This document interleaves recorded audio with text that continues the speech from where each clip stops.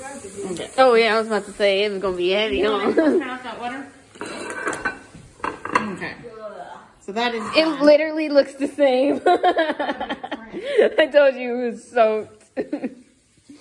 I wonder what the meat looks like. Smell? It looks really pink on the outside, so I'm a little concerned. Oh, it's fine. I Supposed to, guess. it.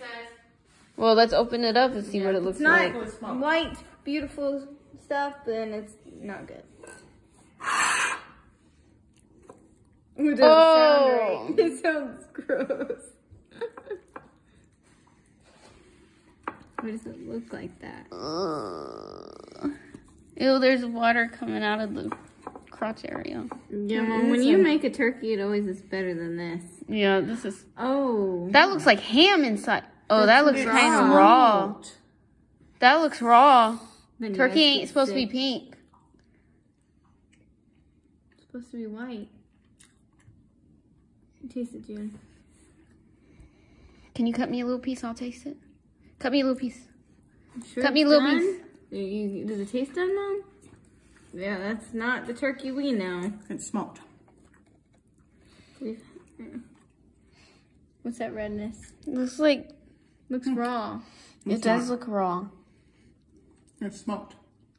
It's smoked turkey.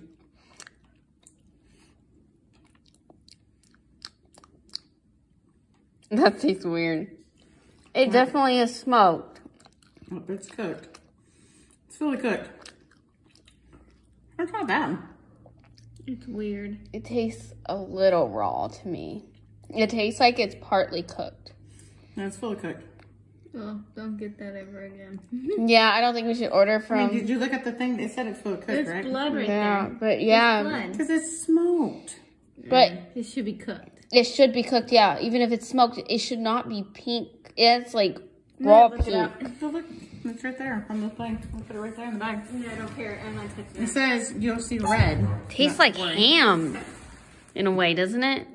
Yeah, let's see what the ham tastes like. Hold. Let's cover up this turkey first. It can look pink. Fully cooked, ready It can? heat and serve. Okay, because I was like, oh. Yeah, it says that oh. it is usually pink. If commercially smoked turkeys are usually pink because it's prepared natural smoke and liquid smoke flavor. Okay. So it's fine. I just don't want no damn food poisoning.